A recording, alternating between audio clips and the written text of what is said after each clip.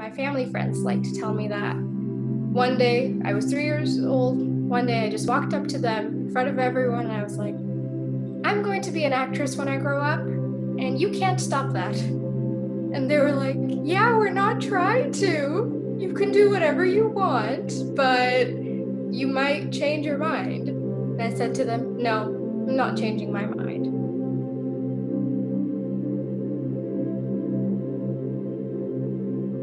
So I was born here in Surrey in 2002. And when I was about three, three and a half years old, my family decided to move back to New Delhi, India. Now, that was a bit of a change for me because living in Surrey, I just had my mom, dad, and my sister. None of my family lived here. And so I went from having practically no one to being surrounded with love and attention and all these strangers who were actually family. So it was a very big change for me to get used to that, especially because I thought of Canada as my home. So I didn't understand the concept that this is also my home, this is where I'm from.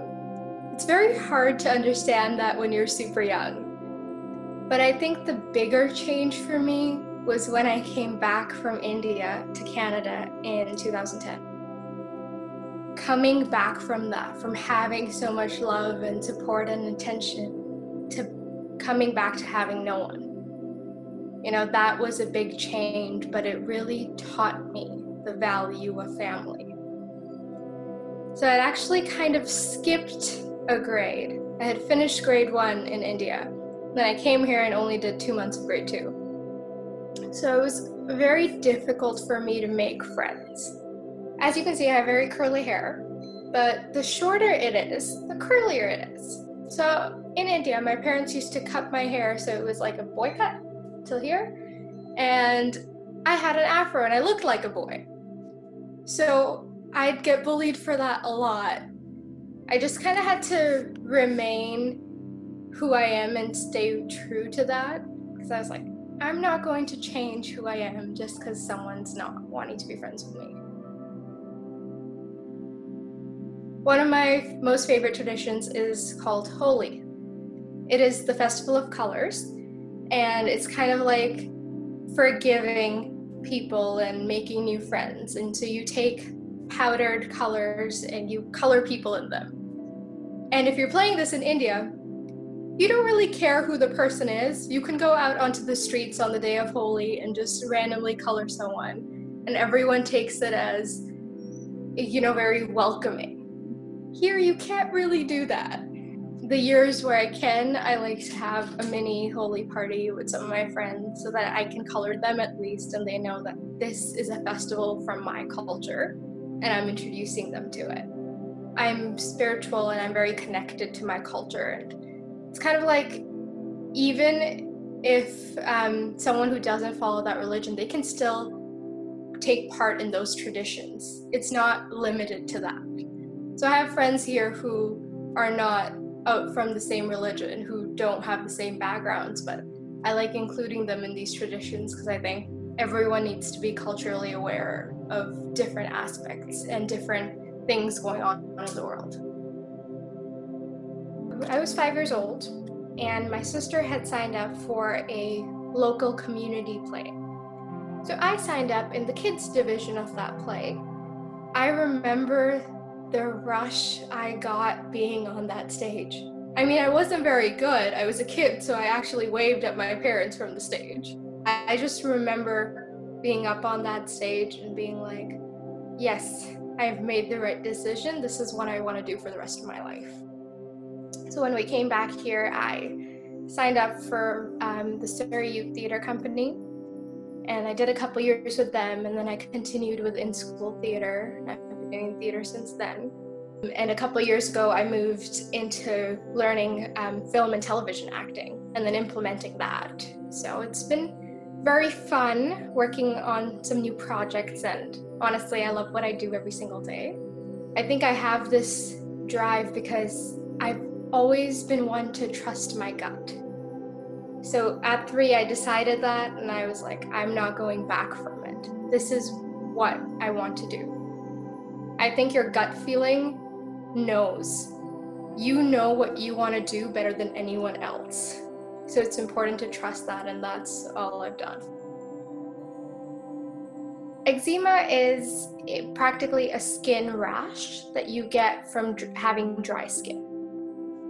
And I actually had eczema when I was a kid, but I didn't know what it was. I just thought I wasn't normal because of it. I had an extreme case where it covered my full legs and my full arms. And so I didn't tell anyone about that.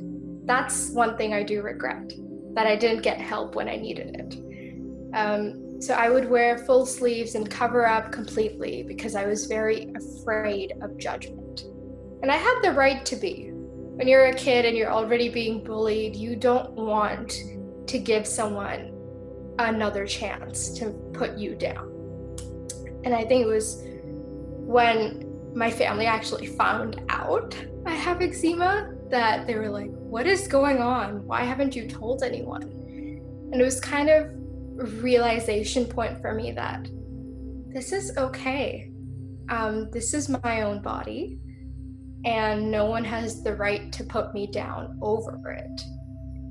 I remember I signed up for my first pageant, and someone had said to me that you can't win with that covering your body. And it just reinstated in me that no, this is who I am, and I'm not going to let someone's words affect how I feel about myself anymore. I was probably 13, 14 at that time. So I signed up and I continued through the pageant, and I actually won. I won Miss Teenage Lower Mainland. And that was a very big stepping stone because it led to me creating my empowerment workshop. My platform during that pageant had been self love. I thought if I could do this, so can anyone else. And I wanted people to stop doubting their worth. And then this year, I competed once again at Miss Teen Canada and placed as first runner up. So I think pageants have given me the platform to do what I love and reinstate in people their own worth, their own value. I think if I was younger and still in that state of doubting my worth, it would have been a very big deal for me to go on stage like this. But it wasn't anymore.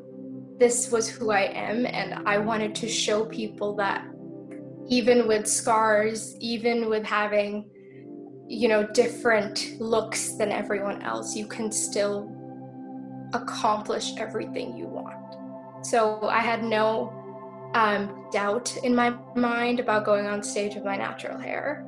I love my hair now and i was so confident because it's a part of who i am. It gives me my confidence and i wasn't going to let people take it away. The minute i started looking at my life as my own and not someone else's wishes, not someone else's thoughts, I became a whole new person.